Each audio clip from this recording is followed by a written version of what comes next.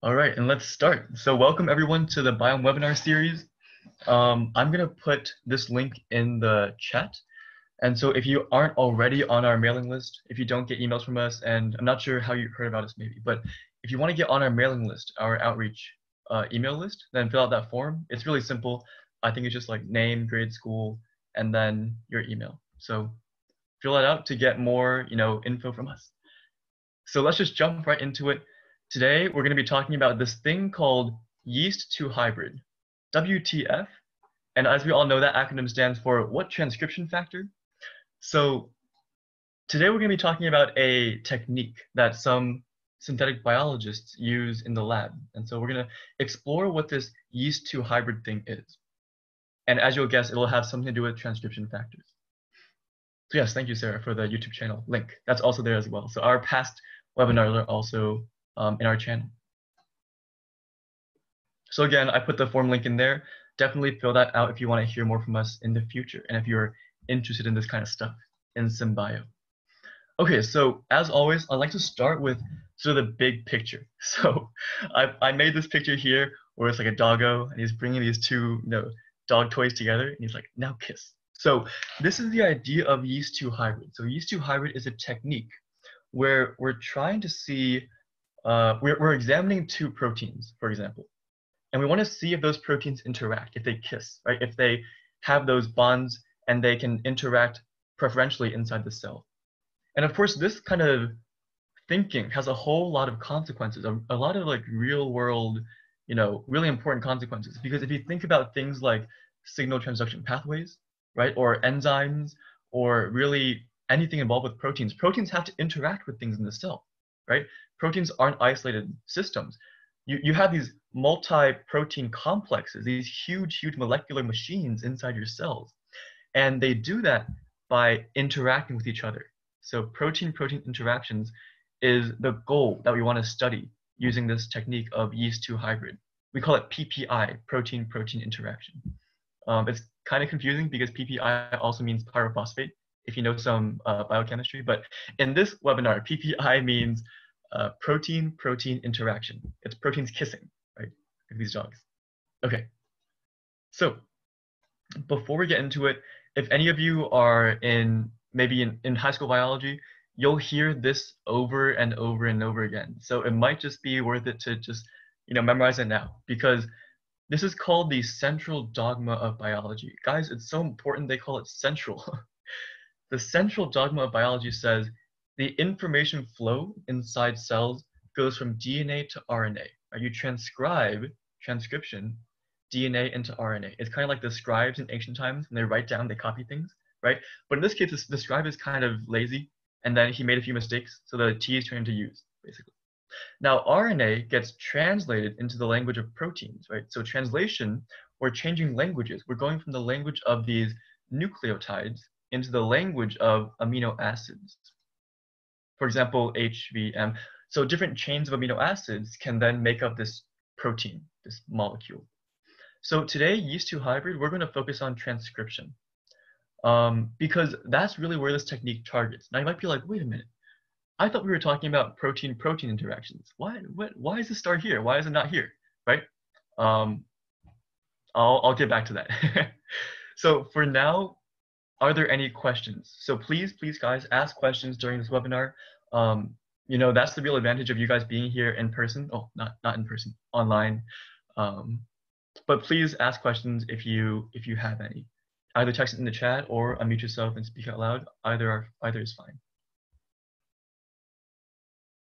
All right, if we have no questions, we can move on. So next, let's talk about genetics. I feel like when you're talking about biology, the first thing that pops into people's minds is DNA, right? I feel like DNA has become the iconic sort of molecule of DNA, that double helix, right? It's very beautiful. However, we can kind of simplify the DNA molecule as a line because biologists, you know, when they draw diagrams, they're lazy. This line is DNA. And we can start to sort of dissect the different parts of DNA. So that kind of makes sense of what the different sequences are saying. So we have a start codon and a stop codon. Those just mean, hey, this is where we start and this is where we stop translating that protein, right? The start codon tells us, okay, our protein is going to start here, and we're to translate that language of nucleotides to amino acids from here all the way to the stop. We call that the coding sequence. There's also a promoter region. So those of you who were um, maybe in the webinars before or have taken maybe a genetics course or a bio course before, you might have heard of the promoter. So promoters are things that promote something. Well, what do they promote? They promote transcription. Remember, transcription is the idea of going from DNA to RNA, right? You have a scribe going from DNA to RNA. So the promoter actually recruits something called RNA polymerase.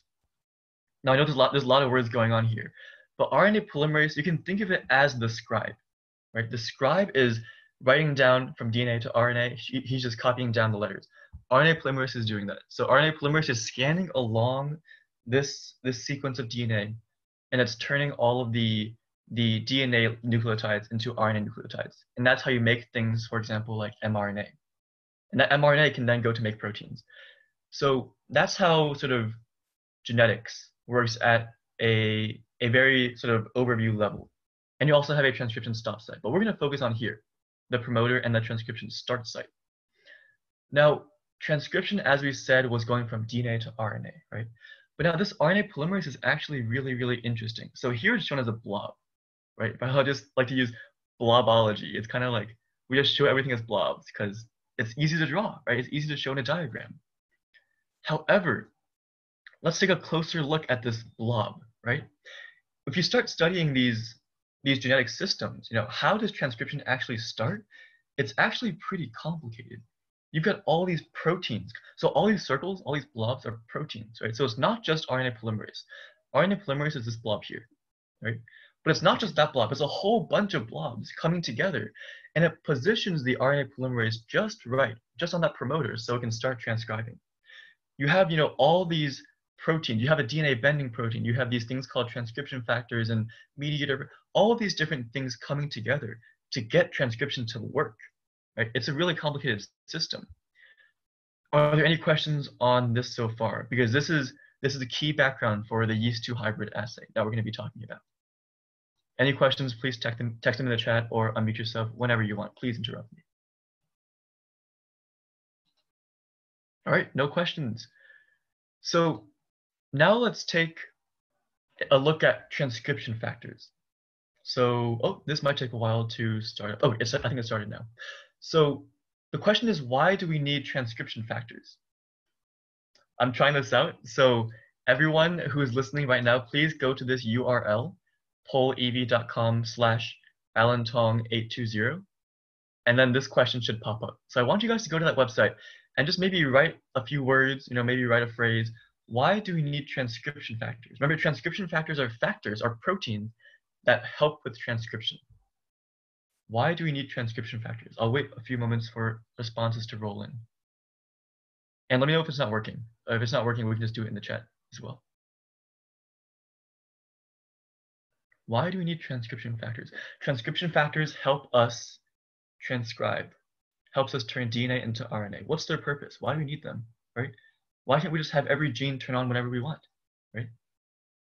Why don't we just have every gene always on? Ooh, got the first one. They help guide RNA polymerase to the right location on the DNA. That is true. Yes, exactly. So transcription factors, they can bind to certain regions of DNA, right?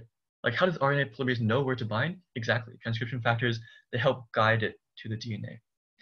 They ensure we only transcribe when needed. That's also a really good point to make sure that they are expressed in the right cell at the right time in the right amount throughout the life of the cell and the organism. Good response. Because they prevent mutations that could be harmful. I'm not sure about that. I haven't heard of anything about mutations with transcription factors. But maybe, maybe. I wouldn't be surprised if they did. Regulate production of proteins when needed. Okay, we have regulation aspects, right? Control. You don't want to directly transcribe DNA. Exactly. So it has something to do with control as well, right? You want to control when to transcribe DNA. I think you guys get the point, right? We need transcription factors. Ah, one more. They control and regulate the expression of genes. Exactly. So we have this idea of control, of regulation, right? Biology is all about homeostasis. We want to control and regulate different processes inside the cell. So I can use the analogy of a supermarket, right? If you were in a supermarket and you were working as a manager, why the hell would you want to sell Christmas trees in July, right? It makes no sense, right? Why would you do that? It makes no sense. So these these transcription factors are kind of like the workers who are like, hey, don't sell Christmas trees in July, sell them in December, right? When Christmas comes around. Transcription factors, they tell the DNA when and where to transcribe the RNA. So we had this idea of regulation, and that's very key. Oh gosh, what just happened? Whoa, I can make them big and small. I didn't know that. Okay, anyways, let's move on. Okay, so you guys talked about what transcription factors are, why they're important. Um, I'm just gonna go off this, this tangent really quickly. And this doesn't really have anything to do with yeast 2 hybrid, but I think it's a field of study that some of you might be interested in and some of you might be interested in learning about later as well. So we talked about genetics. Right? Genetics is the idea of studying the information in DNA, right? How that's transcribed into RNA and protein.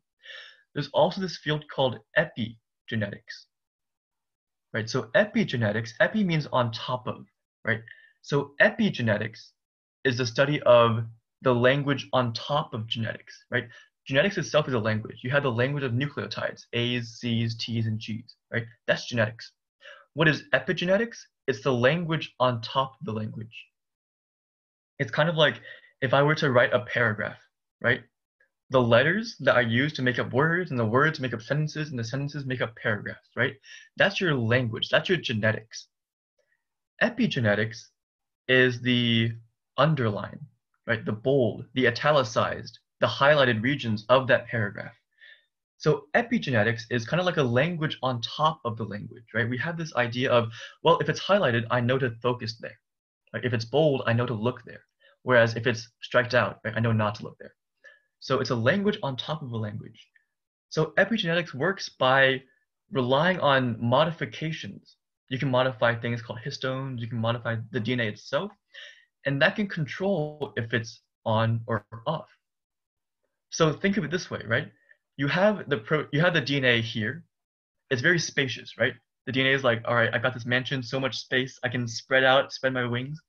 Here we have DNA that's very closely packed, right? Very uncomfortable. It's kind of like in a subway or like a really crowded place. So this is off. Which one do you think transcription factors have an easier time binding to? The left one or the right one? Uh, you can text in the chat, I think. Which ones can transcription factors bind to, left or right? Okay, so people are saying left one, right? It's obvious, right? It's obviously left because there's so much more space for those proteins, transcription factors, to slip in there and bind to the DNA to help it transcribe. And that's why this is the DNA that's on. It's being actively expressed. Whereas this one's off, right? If it's closely packed, it's off. So that's another tangent of transcription factors. Let's go back to the main story, the main uh, event, right? The stage. This is an even closer look at this RNA polymerase. So I won't even pretend to understand what's going on here because most of these things I have no idea what it is, but I just want to show you guys the complexity, right? People spend their entire lives studying these systems and, you know, mad props to them. So check it out. We have POL2. Um, that's RNA polymerase 2. So it's one of the three types of RNA in eukaryotic cells. And you can see the DNA is wound up inside of this massive protein complex it's not just RNA polymerase. It's also got these TFs, transcription factors, other transcription factors, more transcription factors. You know, all these factors, all these proteins are interacting, right? PPIs, protein-protein interactions. They're interacting to facilitate, to help this RNA polymerase 2 to transcribe the mRNA to finally make protein. And an even closer look, right? I mean, even this, this is still blobology, right? To get a really good appreciation of what's really going on here, these are protein crystal structures. Oh my God, it's so good, guys. These are protein crystal structures um, of this RNA polymerase complex, this massive, massive um, macromolecular machine. So Samantha asks, if you could give this diagram a title, what would it be? Ooh, this one mean, uh, this one here, or the one on the next slide?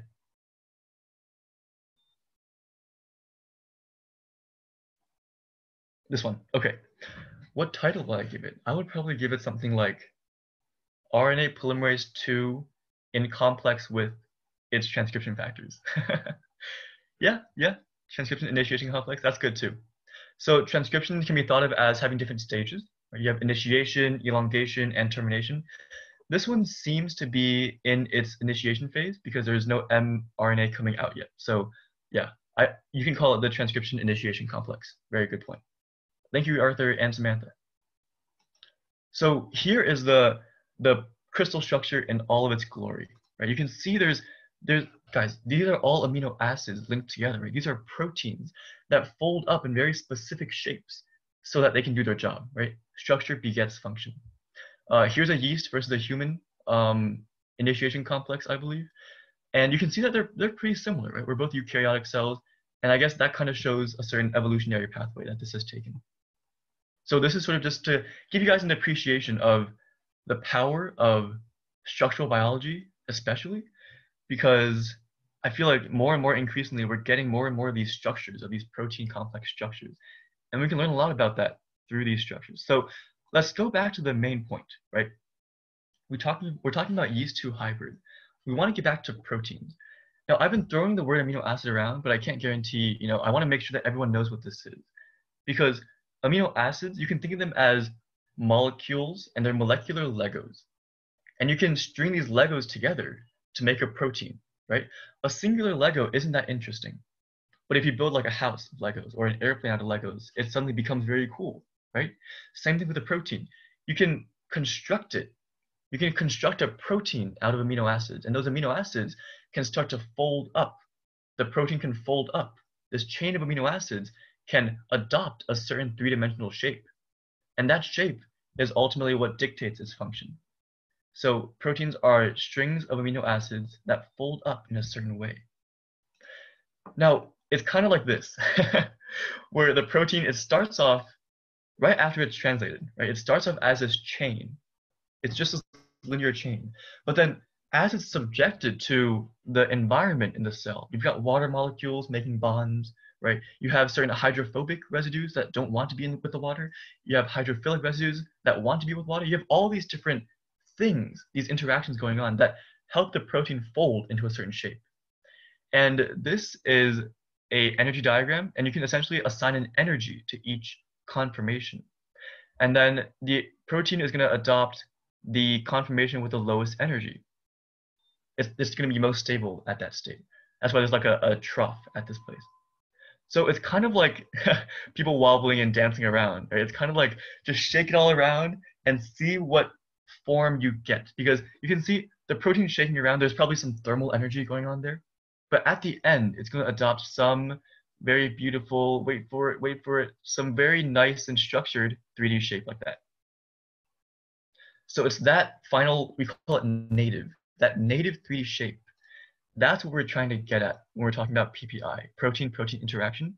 We're thinking about, for example, protein 1 and protein 2, they're adopting these three-dimensional shapes. They're stable native conformations. How do those two shapes interact, right?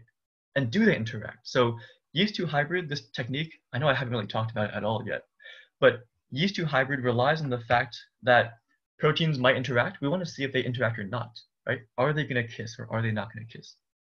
So there's all kinds of interactions that can draw these two proteins together. For example, hydrogen bonds, right? Ionic bonds, plus and minuses attract. You can even have hydrophobic interactions where because things don't like water, they want to stick to each other more than they like water. That's more stable. They're sticking together. You have van der Waals interactions, more ionic bonds. So you have all these kinds of chemical, atomic level interactions. And each of these interactions, you can think of summing them all up. And if the sum of them is favorable, then those two proteins are going to interact. They're going to kiss. They're going to stick together, right? But at the same time, you don't want them to be forever stuck together because certain times you want the protein to be able to dissociate, right? So there's a balance between sort of association and dissociation, depending on those protein-protein interactions, depending on those hydrogen, ionic, and van der Waals bonds. So that's the idea of protein-protein interaction. I feel like the most iconic example of this is the antibody and antigen uh, interaction. So if you were there for, for last time's webinar, uh, the great and majestic Colin Kaliki gave us a webinar about ELISA. So the idea of ELISA is you take antibodies and you bind them to antigens. And the fact is, antibodies, they're very specific for a certain antigen, right? The structure of the antibody is posed. They have these hypervariable regions. The structure is posed so that it will bind to a certain shape. And that shape is called an epitope, for example, of an antigen. I feel like this is very relevant, right? We're all home, we're all quarantined. Why are we quarantined right now? I want to go outside, right? I want to meet friends. Why are we quarantined? Because of COVID-19, right? COVID-19 is a threat to us because we don't have these antibodies against the COVID-19, right? That's the idea of vaccines, right? Vaccines, if we, if we develop a vaccine for COVID-19, it will, oh, that rhymes. vaccine for COVID-19. If we develop that vaccine, then our body can start producing these antibodies against the COVID-19 virus. And that's when we can start going outside, you know, and enjoying time with friends. So it's very relevant to your guys' life today. Any questions so far about these last few slides? I need to remember to pause and ask questions or else I feel like I'm going too fast. All right, let's move on then. So this is an example where it's very important um, to talk about protein-protein interaction. Oh gosh, I'm moving on too fast. Okay, so here's an example of protein-protein interactions. Um, I actually, I'm very excited. I recently uh, got involved with a lab at Stanford, uh, the Khosla lab, I believe it's pronounced. And they're studying this thing called polyketide synthases, PKSs. And so what these things are, they're essentially these, so all these are proteins. So it's a massive, massive, over 2 million daltons, right? I think it's two, two megadaltons, over two megadaltons in size, these, these protein complexes. And notice these tabs, right? These black tabs. Those tabs are domains in the protein that interact with the next domain, right? Why can't this protein interact with this protein? Because those protein-protein interactions aren't favorable, right? They have different tabs. Whereas these two tabs match, right? These two tabs match. And so it's the idea of, well, you can start making these things sequentially. You can have an assembly line, a molecular assembly line, to make molecules based on these protein-protein interactions, based on these sequential interactions. And so it's honestly really beautiful. You can feed into really, you can feed these really simple molecules. You're like, hey, eat this, right? Eat this propionyl-CoA molecule, eat this NADPH, eat this methylmalonyl-CoA. And then what this protein complex will do is it'll take those molecules and it will sequentially add on more and more and more pieces until it reaches the end. And at the very end, it spits out this molecule here. And this molecule is actually um, a precursor to erythromycin. It's a really important antibiotic. So it's very useful in terms of you know biomedical research and these kind of pharmaceutical interest, industries to understand the protein-protein interactions between these different uh, polypeptides. So this is honestly a really exciting field of research. And I guess we can now talk about the idea of yeast 2 hybrid. I know I've gone on, on a lot of tangents, okay? But let's let's focus now. Let's focus on let's start thinking about this idea of protein-protein interactions from the lens of how do we study it? How do we know if two proteins are indeed interacting, right? Because they're, they're tiny, you can't see them. Even with a microscope, you can't see them, right? How do we know if two proteins are interacting in a cell? Okay, before I address that question, let's have a look at transcription factors. So here we have the, some, some of you might call it the transcription initiation complex.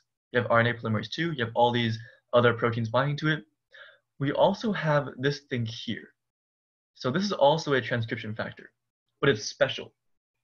People have studied this transcription factor for a while, and it turns out that sort of like the PKS, it has certain modules, right? We have module one, module two. This transcription factor, it also has modules. It's got two modules. I think, yeah, at least two modules. It's got a DNA binding domain module, DBD, DBD, and it also has a TAD module. This is the activating domain. So the DBD module, the DNA binding domain, it does what it sounds like it does. It binds the DNA. As you can see, this part of the protein, it, that's the part that interacts with the DNA. This part of the protein, it's an activation domain. It tells the other transcription factors and it tells the RNA polymerase 2 to start transcribing. So we have this idea of a modular transcription factor. And you guys told me that transcription factors can tell the RNA polymerase to, it'll, it'll control it, right? It'll tell it when to transcribe. I have a question for you guys. How do we use this system to study protein-protein interactions, right? I want you guys to start thinking like a synthetic biologist, right? How might you use a naturally occurring system like this system right here? How would you use it to study PPIs? Maybe text it in the chat. What are your thoughts? This is a hard problem. This is a hard problem. I'll give it maybe like half a minute or a minute. How might we use this modular TF, transcription factor, to study PPI? Okay, so Samantha says, take note of trends and patterns and their consequences. Very good, exactly. We can study how transcription factors interact with each other because they are proteins. Okay, that's a good idea. We can maybe study how these guys interact, right? Manipulate which protein domains are used in transcription and observe the interactions. Oh, now we're getting hot, we're getting spicy now, juicy. So, sorry guys. So I think that that probably hits closest to home. We can manipulate which protein domains are used. Now there's one thing that we can probably think about. I'll, I'll be pretty impressed if you guys can guess how we can actually manipulate this. I'll give it maybe a few more seconds. Because I, for sure, I definitely could not have come up with, with this myself. But if any of you guys could. It's the idea of this module. Okay, so Andrew says, manipulate RNA initiation module. Okay, yes. Using different organisms, maybe, yeah, different organisms. That's part of it. Close. Okay. You say manipulate, right? How do you manipulate? let's be a little bit more specific about manipulation. I, I know I'm kind of I'm kind of, I'm kind of, I'm kind of pushy here. I'm of, I'm kind of picky, but how do we manipulate? Right? I feel like manipulation is a really broad term. How do we manipulate?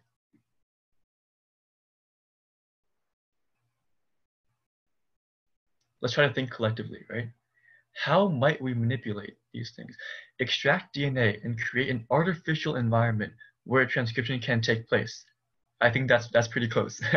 I'll give it to you. I'll give it to you. We want to create something artificial, right? Synthetic biology, guys. SynBio, synthetic biology. We want to take something that's natural and we want to design it. We want to engineer it, right? Bioengineering. We want to engineer it so that the final product is something that we can actually use. So I think artificial environment gets to the crux of the idea. We want to create something artificial. Now, here is the key step, okay? The question is, how do we use this to study PPI? Here's what we do. Let's re-engineer this transcription factor, right? Let's create, like Gianni said, I'm sorry if I pronounced that name wrong, Gianni. Um, but as Gianni said, we want to create something artificial, an artificial environment, right? Let's split this thing in half, right? Let's use our, you know, molecular biology things. Genie, thank you. So Jeannie said, we want to create an artificial environment, right? Let's do that. Let's let's split this thing in half. It's modular, right? By modular, it means that these different modules can work separately, right? It's kind of like in Canvas. Have you guys? I'm not sure if, if, if everyone uses Canvas or not, but in Canvas you have these different modules in a class, right? You have module one, then module two, or different modules in a course, right? Each module is kind of like its own separate thing, its own separate theme, right? it's kind of similar here. The DBD domain, the DBD module, its theme is to bind to DNA. So even if you cut this in half, it's still going to bind to the DNA. That's what it does, right? This TAD domain, this transactivation domain, its module, its theme is to activate this transcription, but only after it associates with the, D, the, the DBD, right? So given this hint, now, how might you re-engineer this thing to study PPI? Let's try to make it as generalized as possible, right? We want to take any protein in the world, or universe even, who knows, astrobiologists out there, in the universe. And then we want to know if this protein interacts with this protein. How do we use this system to do that? Any protein we want, right? How do we use this system? By splitting it in half. How do we use that to study PPIs? Go crazy in the chat, guys. And for everyone who, who proposed an answer, thank you for participating. Um, yes, thank you very much.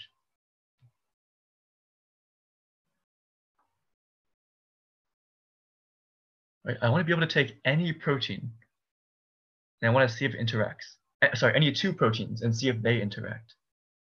How do we use this to study that?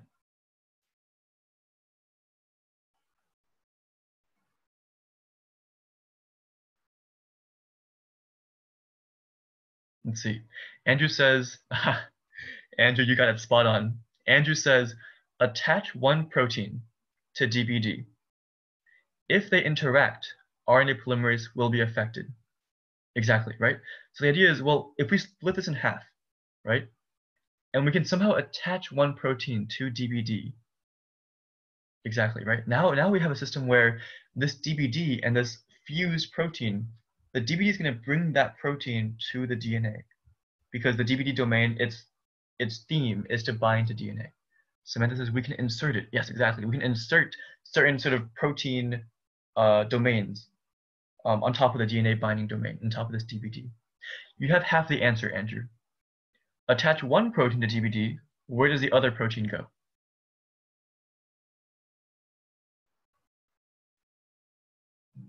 Or anyone can answer, not just Andrew.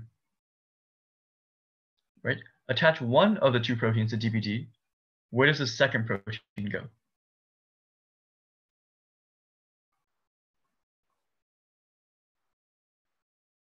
Andrew says the other goes to the TAD.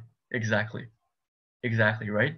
That is the, the crux of this technique of yeast 2 hybrid. So let's take a look at what exactly I'm talking about, right? Now I'm going to walk you guys through the process. So the idea is if we have this DBD and we have this TAD and we can manipulate, we can split it in half and we can attach one protein to DBD and our second protein to TAD if there is PPI between the protein 1 and protein 2, they're going to interact, right? So protein 1 is attached to DBD, protein 2 is attached to TAD, right? DBD is binding to DNA. TAD is kind of floating around. If our protein of interest interacts, then it brings that TAD to the DBD and then that TAD can start transcription, right? The DBD and TAD together can start transcription. And so now you have a system, right? Now you have a system where, okay, we have an if-then statement, right? If the proteins interact, then TAD is brought to DBD, and then transcription will start. And so we then have some reporter gene, for example. That can then tell us if those two proteins interact, right? Beautiful, beautiful system. Whoever thought of this was mighty big brain. Okay, now let's take you through the process. Okay, we have these proteins. Now the transcription factor, the name isn't important, but it's called GAL4. So GAL4 is that TF. GAL4 is the transcription factor. Oh, so Jeannie says, wouldn't TAD already attach to DBD without the additional proteins? That's a very good point. That's a very good point. So let me go back to this slide here. So the idea is that there's only a certain surface right? So TAD and DBD, they have um, these surfaces that are attached to it. And so typically, this is one polypeptide. So typically, these two, um, they don't really have a PPI per se because it's just one protein. Right? So one protein doesn't really um, have PPI, we wouldn't say, because it's one protein.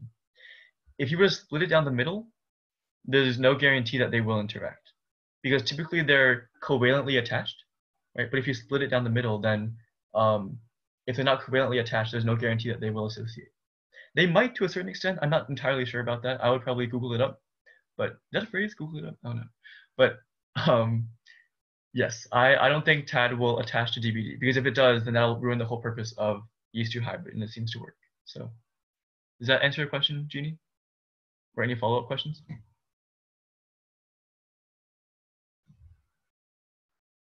All right, anyways, moving on. So the TAD and the DBD, I feel like a premise of this is, yeah. Oh, I thought it was two different proteins, but that clears it up. Yes, exactly. So this is one protein. They're covalently linked. We want to split that covalent bond, and we want to basically chop it up in pieces. Um, this transcription factor, we, we can call it GAL4. Let's just give it a name. This whole protein is GAL4, okay?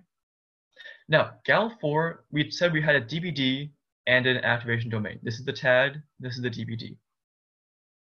Let's design some DNA, right? Guys, DNA synthesis now is so powerful because we can literally, you know, type in the letters of the sequence and send it to a company and the company will synthesize that DNA piece and send it to us back. So we can design this to our advantage.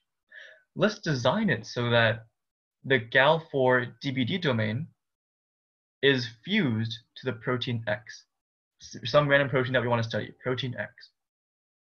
And let's also put protein Y next to the GAL4 TAD domain. So activation domain, TAD domain, same thing, right? Let's also study protein Z. Let's also attach protein Z in the same way as protein Y. So here's our question, right? Our question is, does protein X interact with protein Y, right? Do they kiss? Remember the dog in the beginning? That's the goal. Do they kiss? Right, now kiss. Do protein X and protein Y interact? Yes or no? Do protein X and protein Z interact? Yes or no? Now in this example here, we can't tell if Y and Z interact, right? Because Y and Z are both attached to TADs. This only works if you design it so that you attach one protein to DBD and the other to TAD. So here we're asking, does X interact with Y? Does X interact with Z, right? Let's, let's, let's see, let's figure it out. So I include these images of dogs because it's kind of following the theme of the, the dog in the beginning, now kiss, right? These are sad dogs. Why are these sad dogs? Oh, Yishan asks, would we split the TAD and DBD proteins by using CRISPR-Cas9 to edit these proteins' DNA sequence, or would we use another protein to cleave them? Oh, good question. Um, I don't think we need either.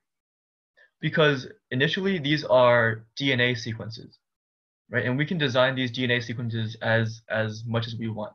Right? We can insert an A here or a T there, or we can literally just take the entire domain of that, that sequence, that DNA sequence, and then we put it next to the protein sequence of X.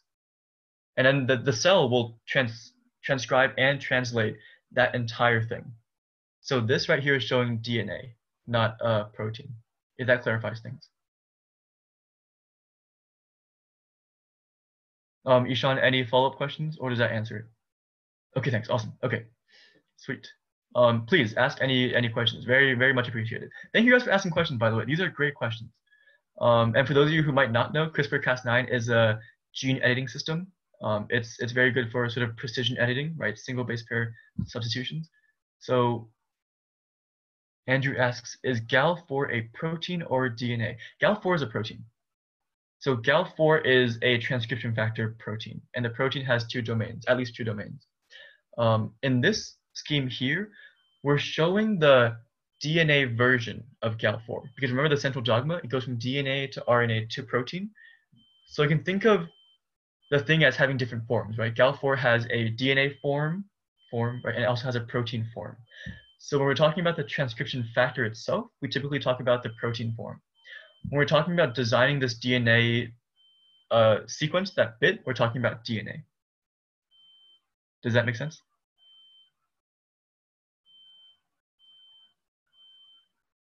Right, so through, through the central dogma, right, DNA to RNA to protein, this DNA sequence is going to be transcribed to mRNA and then finally protein.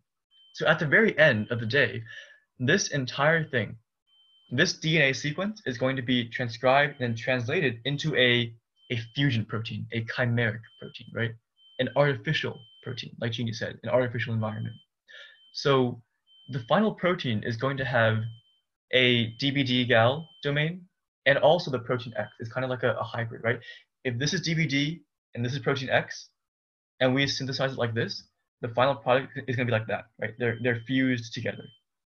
Same thing with Y and the TAD, right? Y and TAD, they're fused together now. They travel together. Same with Z and uh, gal, TAD.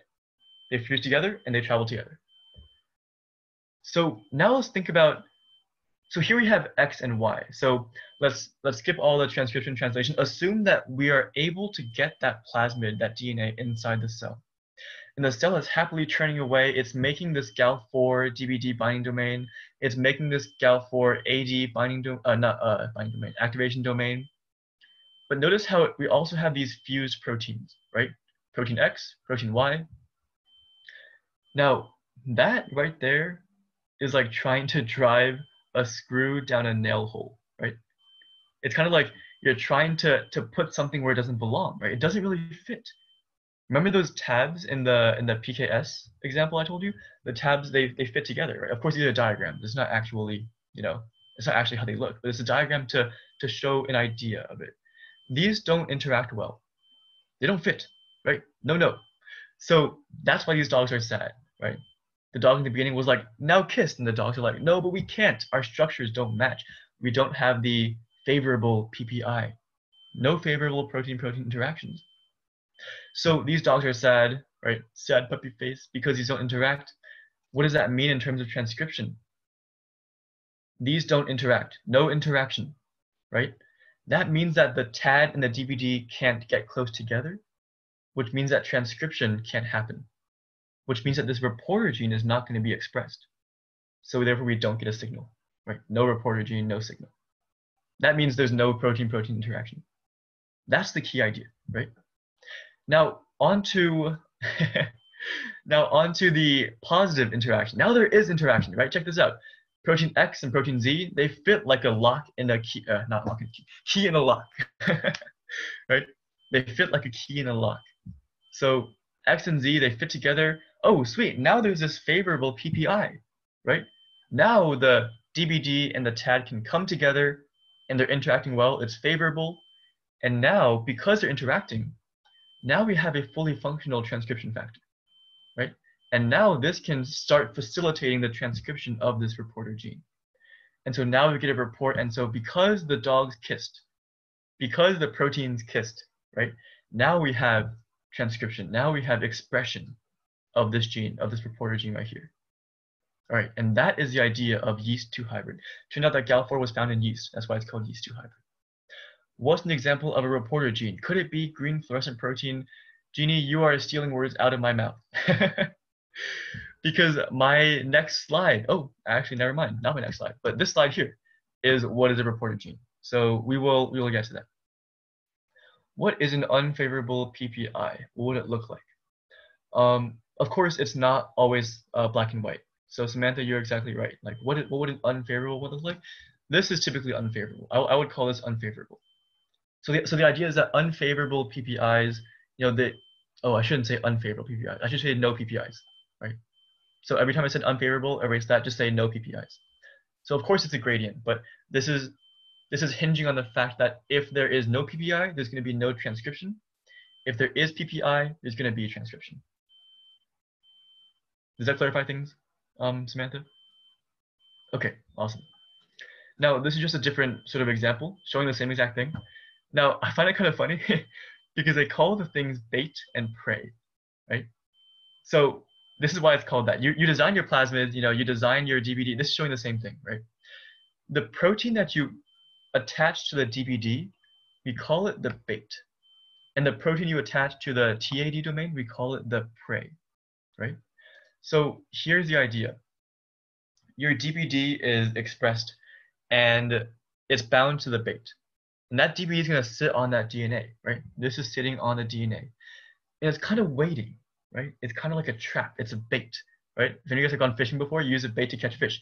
It's kind of like a bait that's sitting there. And if there is a fish nearby, if there's a prey nearby, the bait's going to be like, ah, I got you, right? Now there's an interaction, there's PPI, and so this, this TAD domain, this GAL4AD domain, can then be recruited and then transcription can now happen, right? However, if the prey doesn't like the food, the bait's like, I mean, the, the prey is like, nah, that, that's not my fish food. There, there, there's going to be no PPI and there's going to be no transcription. So the gene won't be transcribed. So I've also seen the prey be uh, fish. So in some literature, you might see like bait and fish. uh, bait and prey, I mean, same idea. The, the key concept is that the bait interacts with the prey, or the protein X interacts with protein Z, for example. So you might call them different names. So Jeannie, you brought up a really good point, right? What is our, oh shoot, what time is it? okay, 46, got 15 minutes. All right. What is the reporter gene? So you said GFP, good idea, right? Why not? Let's put it next to a, a, GFP protein, for example, right? Um, I'm not, actually, I'm not quite sure about that because GFP isn't expressed naturally in these yeast. So the Gal4 system is in yeast. That's why it's called yeast 2 hybrid. You're making a hybrid system in yeast, yeast 2 hybrid. GFP isn't expressed naturally in yeast, so I don't think GFP will be a good idea. You might be able to find a way to engineer it. And I wouldn't be surprised if there if there are people out there who could be able to do this. But the examples that I'm going to give are beta galactosidase. Some people call it beta gal. Right? If you were in my lecture uh, for IPTG, I think it was like the first seminar, the, the first webinar or something, we talked about IPTG induction. And then one of the genes that was involved with this thing was this thing called beta galactosidase. And for those of you who were there, you know that beta galactosidase, it cleaves apart this thing, uh, this sugar. It turns out that you can modify the the yeast such that you can have the DBD domain bind to the promoter region of this LACZ gene expressing beta gal. And then, for example, let's say your protein interacts. Your TAD domain gets recruited, you start transcription, you express this gene, you express this beta galactosidase. Now, what does this gene do? What does this protein do, more specifically? Beta galactosidase it cleaves things. It's an enzyme, right? That ace there, right there, it means enzyme. It turns out that typically it's used for breaking down, for example, um, lactose. I think lactose as well. But there is this molecule called XGAL, and it's common. It's commonly used in you know molecular molecular biology or synthetic biology. It turns out that if you feed in this XGAL molecule, and then beta galactosidase is also there, beta galactosidase will cleave XGAL. It'll spit off this sugar molecule here. And you're going to be left with this molecule here. We'll call it molecule 1, right? And it turns out that molecule 1 can dimerize. If any of you if, if any of you are interested in the organic chemistry of it, it's also very fascinating. But these molecules can dimerize. And it forms this molecule 2 right here. You can see it's kind of similar, right? It's just two of this, basically, connected with this uh, double bond.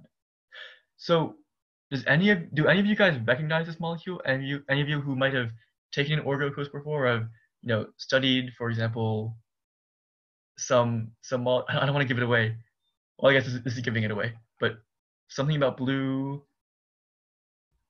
Maybe, maybe text it in the chat.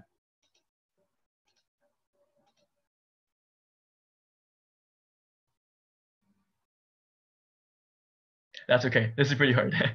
it turns out that this is actually an indigo derivative. Indigo! Guys, are any of you guys wearing jeans right now? if you're wearing jeans, you've got indigo on you, right? Those denim jackets people wear for fashion, right? Indigo. This is a derivative of indigo. It's not exactly indigo. It's got these halogens popping off of it, but it's an indigo derivative and it's also blue. So if your proteins interact and it makes this beta gal, then you start uh, adding its gal molecule, you're going to start making this indigo derivative, and then your, your culture will literally turn blue. If it's blue, you'll be like, oh, that means that those two proteins interact. It's a good question, Jeannie. This is what the reporter gene might look like. Any questions about this system here? Okay, awesome. Let me check the time, actually. It's, okay, 7.50. Got 10 more minutes. I'll try to save a few minutes um, at the end for questions or more elaboration. Okay, another reporter gene. There are multiple options, guys. The beauty of this is that you can, it's adaptable, right? You can use any protein. It's very generalizable. You can also use almost, you know, not any reporter gene, but there are a few reporter genes you can choose from. For example, LACZ or HIS3. So HIS3 is another option that you can use for uh, your assay, your yeast, your yeast 2 hybrid assay. Now, if your two proteins interact, and it transcribes this HIS3 gene and it makes this HIS3 protein, it turns out that HIS3 protein is an enzyme that helps catalyze a step to make histidine. Cells need histidine, okay? this is histidine. It's an amino acid, right? And cells need need proteins, right? It's kind of like cells need their their proteins as well, just as much as we do. Yeast as well. Yeast need these amino acids. If your if your uh, proteins interacted, which one would it look like? Would it look like the top one or the bottom one? Top or bottom? So this is a, a plate that doesn't have histidine. Andrew says top. Yeah. Arthur says top. Yep. Exactly. Top is correct. If your if your two proteins interact, you'll transcribe his3. His3 will help make this histidine. And then only those cells that can make histidine will survive. So only in those cells where, the, where those PPIs are present will they survive. So if you see cell colonies, that means that those proteins have interacted, right? If you don't see them, that means that they probably did not interact and your cells are all dead. I'm sorry. so good job, guys. Uh, I'm, that's, that's pretty good. So hopefully that, that makes sense, this system. Now, are there any questions regarding the, the yeast 2 hybrid system that we talked about? Why is this only done in yeast and not bacteria in a process like bacterial transformation? Good question. So it turns out that um, GAL4 is present in yeast. That's one system. That's one type of system. It turns out that you know biologists have gone and done a whole lot of other studies, and they have engineered certain bacteria to do this as well. So it's called yeast 2 hybrid because it started off in yeast, but it, it can be used in bacteria.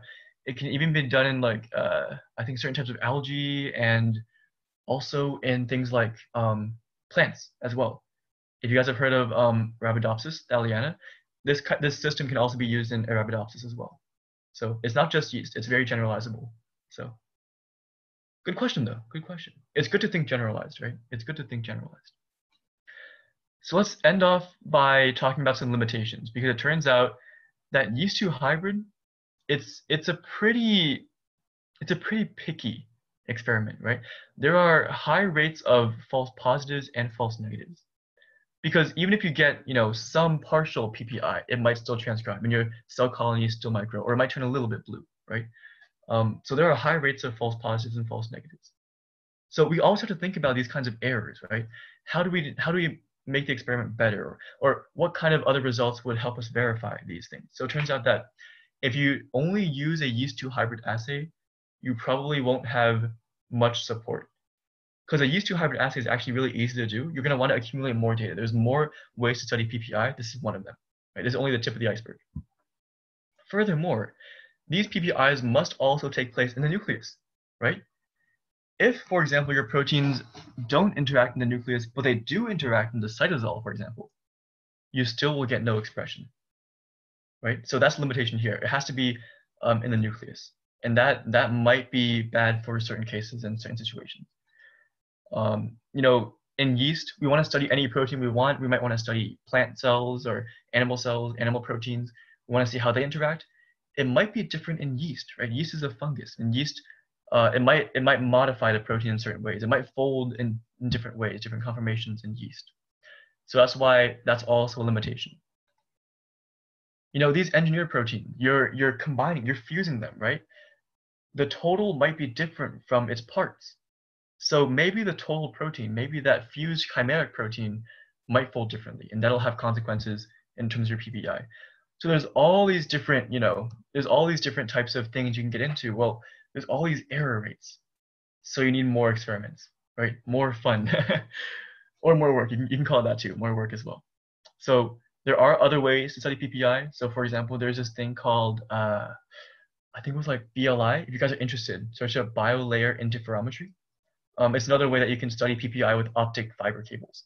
Um, so oftentimes you're going to want to accumulate different pieces of evidence to determine do these proteins interact.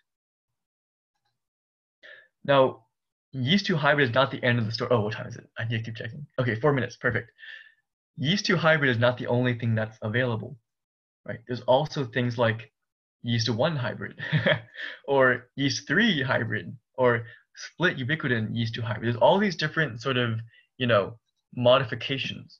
There's these different sort of variants of the yeast 2 hybrid. And you can see how powerful this idea is, right? You take this idea of yeast 2 hybrid and you can apply it to, for example, protein DNA interactions or protein RNA interactions, or you know, protein-protein interactions between membrane proteins that aren't in the nucleus, or you know, simultaneous protein DNA or protein-protein. So there's all these different you know ways you can combine these things together.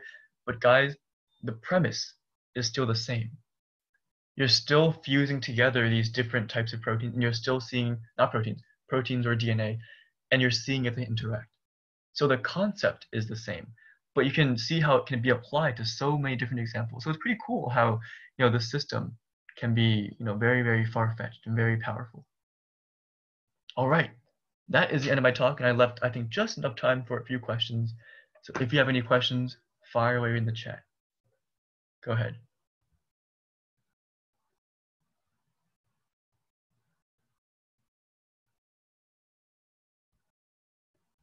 I'll give it maybe a few seconds because typing a question might take some time. Thank you all for coming though. Um, it's, it's great to see so many people who are interested in bio and learning over the summer, you know. Bye-bye. Oh, bye-bye. okay, so Jeannie said, sorry if I missed it, but can you explain why detecting PPI is useful? Okay, one example. Um, let me go back to um, this thing right here. So I talked about it before. Um, it's okay if you missed it. So I'll talk about it briefly for now. Um, PPI is useful for pretty much every protein interaction in the cell, right? You think about enzymes, right? Enzymes, they might have to be activated by certain things, by certain phosphorylases, for example, right? Signal transduction pathways might have to have protein-protein interactions. Antibody-antigen interactions, that's PPI, right? Um, you can also have things like uh, this this mega complex, right? If you think about transcription itself, the transcription initiation complex, all of that is also PPI, right? The different TFs have to interact in certain ways to transcribe the gene in a certain way. Um, this example comes from a lab that I recently joined, um, polyketide synthases. And what they do is they're looking at these different proteins. So DEBS1 is a protein, DEBS2 is a protein, DEBS3 is a protein. And these tabs right there those are domains in the protein that can interact with the next protein. So for example, DEBS1 interacts with DEBS2. DEBS3 inter, uh, DEBS2 interacts with DEBS3. So you have almost like an assembly line, right? Think about Ford, right? You want to make a car. How are cars made? Well, back then they were made using assembly lines. I'm not sure if they're still made like that today. Probably. Something like that, right? The idea of an assembly line is you do one thing specifically right? Each step does one thing specifically. I want to put a nail here, or I want to put this piece of the car here, right? And you go step by step until eventually you get a car. Same idea here, right? You have an assembly line of proteins, and this assembly line is going to pass on each molecular product, each chemical to the next module. Module one goes to module two, module two goes to module three, but it can't do that unless there's that PPI, right? And it turns out that this this mega protein complex can make really important natural products for things like antibiotics. So this thing right here, whoops, this thing right here to the right, uh, 6-DEB is 6-deoxy-erythronolide B. Um, that's a precursor to erythromycin, which is an antibiotic. So there's all these different applications for PPI, and it turns out that yeast 2 hybrid is one of the many, many different ways you can use to detect that. All right, good question though. It's always good to think about application. Any other questions? Can we use yeast 2 hybrid to study interactions between antibodies and coronavirus? Uh, yes, I don't see why not. oh, and I'll stop recording too. Uh, stop recording. Sweet.